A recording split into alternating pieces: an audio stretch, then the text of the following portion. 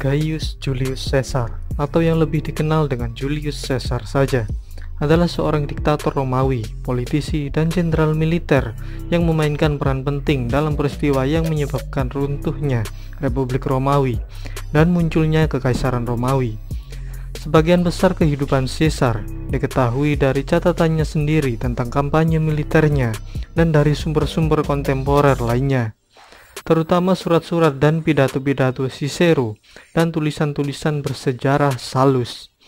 Caesar dianggap oleh banyak sejarawan sebagai salah satu komandan militer terbesar dalam sejarah. Dan berikut ini adalah kisah Julius Caesar selengkapnya.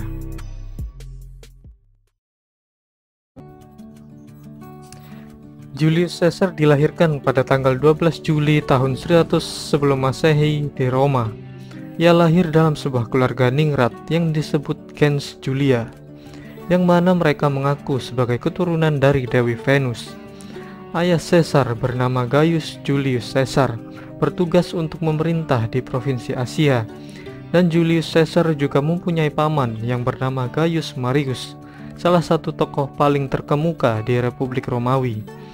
Ibu Julius bernama Aurelia Cotta yang juga berasal dari keluarga berpengaruh. Sayangnya, hanya sedikit yang dicatat tentang masa kecil Caesar. Pada tahun 85 sebelum Masehi, ayah Caesar meninggal secara mendadak, sehingga Caesar menjadi kepala keluarga pada usia 16 tahun. Saat itu masa muda Caesar bertepatan dengan perang saudara antara pamannya Gaius Marius melawan Lucius Cornelius Sulla Kedua belah pihak melakukan pembersihan berdarah terhadap lawan politik mereka setiap kali salah satu dari mereka berada dalam kekuasaan. Marius dan sekutunya, Lucius Cornelius Cina, memegang kendali kota ketika Caesar dicalonkan sebagai Flamendialis yang baru atau seorang imam besar. Kemudian ia menikah dengan putri sekutu pamannya itu yang bernama Cornelia.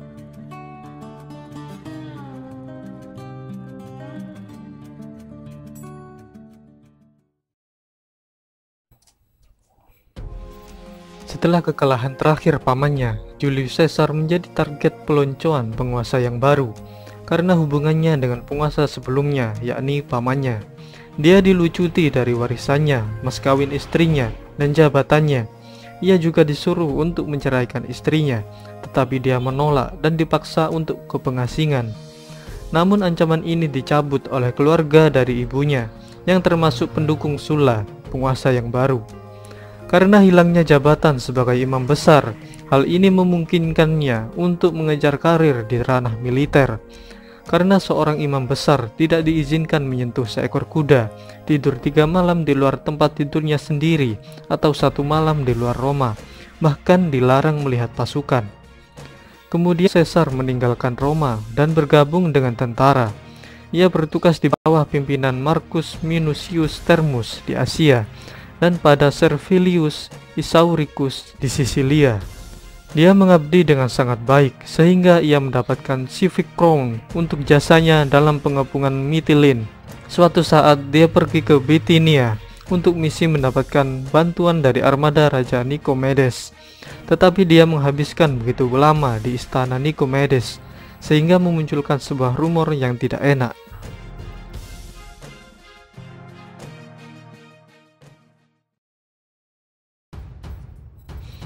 Mendengar kematian Sulla pada tahun 78 sebelum masehi, Caesar merasa cukup aman untuk kembali ke Roma. Waktu itu, dia tidak memiliki apa-apa sejak warisannya disita, tetapi dia berhasil memperoleh rumah sederhana di Subura, yaitu lingkungan kelas bawah di Roma. Setelah tinggal di Roma, ia beralih profesi dari militer ke advokasi hukum dan Caesar pun menjadi terkenal karena pidatonya yang luar biasa, disertai dengan gerakan penuh semangat dan suara bernada tinggi. Juga karena ia sudah memberi penuntutan kejam terhadap mantan gubernur yang terkenal karena pemerasan dan korupsi.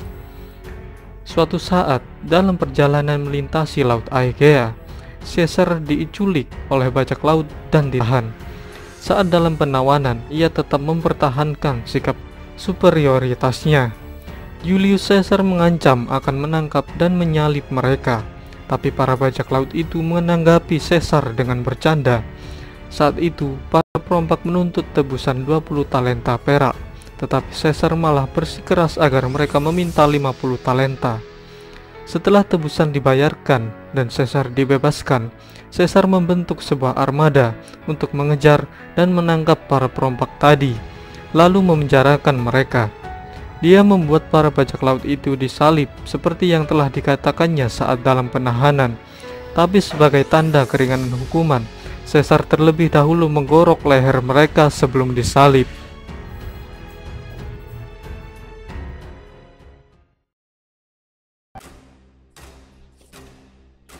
Suatu ketika, Caesar mendapat panggilan untuk segera kembali ke aksi militer di Asia dan membentuk sekelompok pasukan bantuan untuk mengusir serbuan dari timur. Sekembalinya ke Roma, ia terpilih sebagai tribunus, yaitu sebuah lembaga politik di Romawi dan ini adalah langkah pertama dalam karir politiknya. Pada tahun 69 sebelum masehi, dia terpilih sebagai kuestor yang bertugas untuk mengawasi urusan keuangan. Dan pada tahun yang sama, istrinya Cornelia tutup usia. Kemudian Caesar pergi untuk mengabdi sebagai kuestor di Hispania setelah pemakaman istrinya. Pada musim semi atau awal musim panas di tahun 69 sebelum masehi. Sementara di sana, ia dikatakan telah menemukan patung Alexander Agung, dan ia pun menyadari dengan perasaan tidak puas bahwa dia sekarang berada di zaman ketika Alexander menguasai dunia, sementara dia hanya meraih sedikit. Sekembalinya di tahun 67 sebelum masehi, Caesar menikahi Pompeia, yaitu cucu dari Sulla. Tapi kemudian ia menceraikannya pada tahun 61 sebelum masehi setelah keterlibatannya dalam sebuah skandal. Pada tahun 65 sebelum masehi, ia terpilih sebagai Kurule Aidile yang bertugas untuk pemeliharaan bangunan umum dan regulasi festival publik. Lalu Caesar pun mengadakan permainan mewah yang membuatnya mendapatkan perhatian lebih dan dukungan dari rakyat.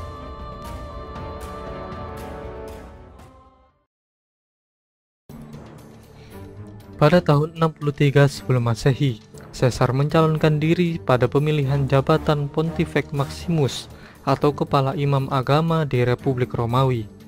Dia melawan dua senator yang kuat, tapi Caesar berhasil menang dengan mulus, walaupun pengalaman dan kedudukan lawannya lebih tinggi. Pada tahun yang sama, Caesar dituduh oleh beberapa senator terlibat atas konspirasi yang dilakukan oleh Cicero yang merupakan konsul pada tahun itu. Setelah menjabat sebagai pretor pada tahun 62 sebelum masehi, Caesar ditunjuk untuk memerintah sebagai proprietor di Hispania Ulterior. Sebelum ia berangkat ke wilayah dinasnya yang baru, Caesar masih mempunyai hutang yang banyak dan harus membayarnya sebelum ia bisa pergi. Lalu dia menemui Marcus Licinius Crassus, orang terkaya di Roma. Kemudian Crassus membayar sebagian hutang Caesar dan bertindak sebagai penjamin untuk hutangnya yang belum melunas. Meski begitu, untuk menghindari penuntutan terhadap hutangnya saat ia sudah tidak menjadi pejabat dan menjadi warga biasa, Caesar berangkat ke provinsi dinasnya sebelum jabatan praetorshipnya berakhir. Saat bertugas di wilayah dinasnya, ia menaklukkan dua suku lokal dan dipuji sebagai imperator oleh pasukannya. Kemudian ia mereformasi undang-undang tentang utang dan menyelesaikan jabatan gubernurnya dengan baik. Caesar diakui sebagai imperator pada tahun 60 sebelum masehi di Republik Romawi. Gelar imperator ini adalah gelar kehormatan yang didapatkan oleh komandan militer tertentu saja.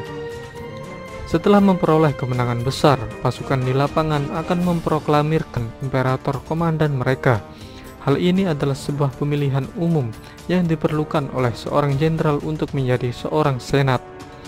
Namun, saat itu Caesar juga ingin menjadi seorang konsul.